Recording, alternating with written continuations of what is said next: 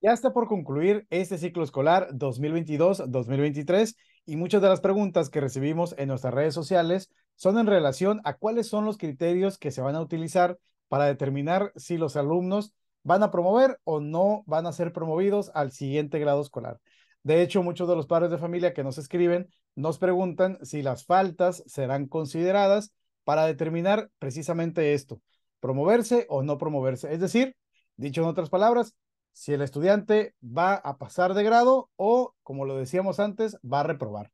En este video vamos a aclarar esas preguntas y sería interesante que si eres maestra o maestro y esta información ayuda a tus padres de familia, se los envíes para tener esta información y tener claridad acerca de los criterios.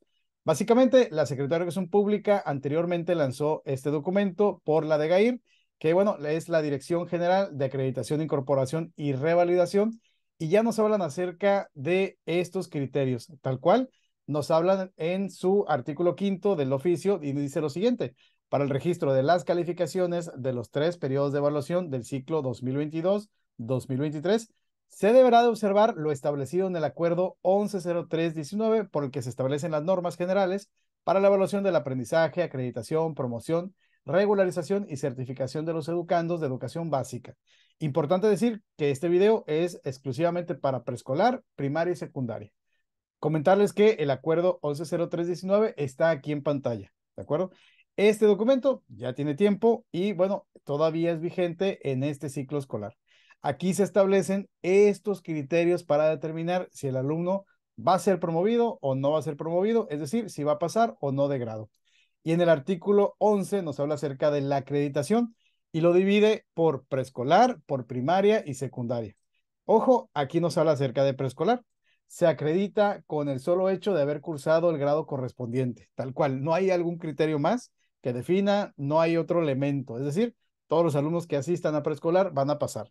Cuando vamos a primaria, bueno, en primero y segundo grado de primaria ocurre exactamente lo mismo, ¿de acuerdo? De hecho, los puse del mismo color para que conozcamos y tengamos claro que son los mismos elementos. Primero y segundo de primaria se acredita con el solamente hecho de haberlo cursado, tal cual. Ahí quedó, ¿de acuerdo? Vámonos con tercero y cuarto y quinto grado de primaria, ¿de acuerdo? Aquí hay dos elementos. El primero, tener un mínimo de 80% de asistencia del ciclo escolar. Más adelante vamos a hablar un poquito más acerca de la asistencia, ¿de acuerdo? Y el segundo elemento, tener un promedio final en el grado escolar mínimo de 6 y haber obtenido calificación aprobatoria en al menos seis asignaturas del componente curricular, campo de formación académica y las áreas de artes y educación física, ¿de acuerdo? Del siguiente componente, áreas de desarrollo personal y sociales. Si quieres un video acerca de qué asignaturas son estas, déjame en los comentarios preguntarte, ¿ya te suscribiste al canal? ¿Ya activaste tu campanita? ¿Ya dejaste un me gusta? De esa manera YouTube te va a avisar cuando subamos un nuevo video y vas a tener toda la información acerca del trabajo de maestras, maestros y bueno, también de algunos datos de interés para todos como el calendario escolar, el inicio del ciclo escolar y demás. Comentarles que ya para sexto grado aparece un criterio distinto. Continúa con el 80% de asistencias, pero bueno, aquí dice que tenemos que tener un promedio final mínimo de 6 en todas las asignaturas, tal cual. Tenemos que tener aprobadas todas las asignaturas, ¿de acuerdo? Fíjense que qué sucede en secundaria. Miren, en secundaria, primero y segundo grados tienen la misma información que tercero, cuarto y quinto, ¿de acuerdo? Es lo mismo, es, es el mismo criterio. Es decir, 80% de asistencia y tener un mínimo de seis, así como al menos seis asignaturas aprobadas. En tercero de secundaria sucede lo mismo que en sexto de primaria, mínimo 80% de asistencia y todas las asignaturas mínimo con seis, ¿de acuerdo? Bueno, vamos a ver este asunto de las asistencias, porque bueno, ya vimos cuáles son los criterios en cuanto a las asignaturas y la calificación.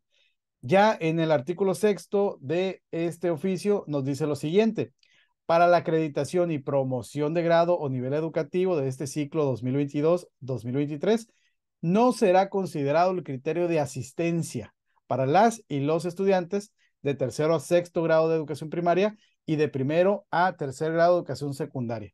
Es decir, lo que sí se va a considerar es en relación a las asignaturas aprobadas y a la calificación mínimo de seis en todo el grado, pero este 80% de asistencia no será considerado, ¿de acuerdo?